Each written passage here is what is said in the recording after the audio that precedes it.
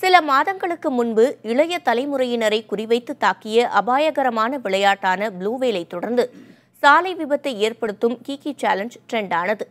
அந்த வரிசையில் தற்போது மோமோ சேலஞ்ச் என்ற அபாயகரமான விளையாட்டு இணையதளங்களில் வைரலாகி வருகிறது.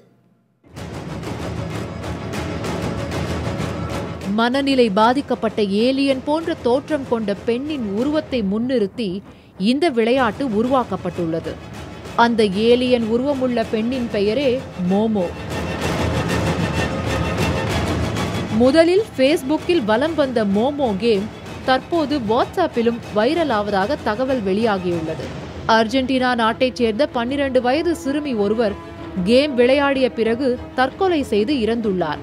அவரது செல்போனை ஆய்வு செய்ததில் வாட்ஸ்ஆப்பில் வந்த குறுந்தகவலை பார்த்தபின் தற்கொலை செய்து கொண்டது தெரிய வந்துள்ளது வாட்ஸ்ஆப்பில் வந்திருக்கும் ஒரு லிங்கில் மோமோ சேலஞ்ச் விளையாட்டு இருந்துள்ளது. ஃபேஸ்புக் மூலம் வாட்ஸ்ஆப் எண் எடுக்கப்பட்டு இந்த லிங்க் அனுப்பப்படுகிறது.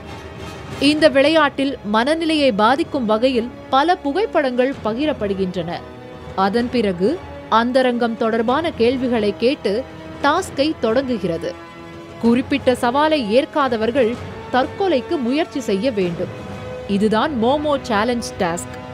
அப்படி சவாலை ஏற்கவில்லை என்றால் செல்போனில் இருக்கும் தகவல்களும் நம்மிடமிருந்து பெறப்பட்ட அந்தரங்க தகவல்களும் வெளியிடப்படும் என மிரட்டல் விடுக்கப்படுகிறது.